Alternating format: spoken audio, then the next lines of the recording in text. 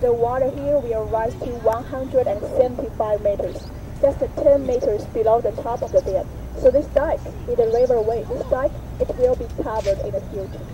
And uh, we can see that it is above the sea level.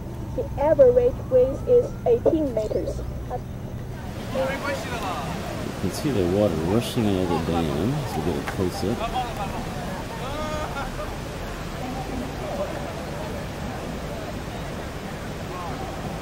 Really hazy.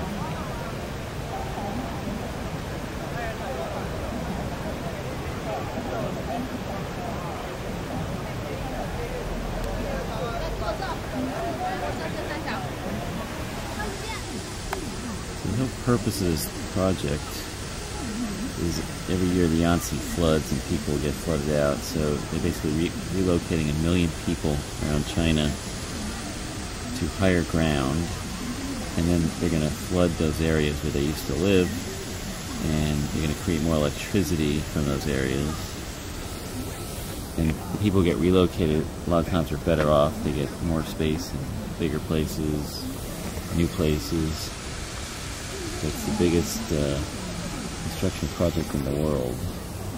have, have to stop here for a while. You can't catch the chance to take the pictures of the spillway section on your right hand side. We can see, the center part is releasing water. On both sides of the center part, there's the powerhouse. All the generators, they are installed inside it.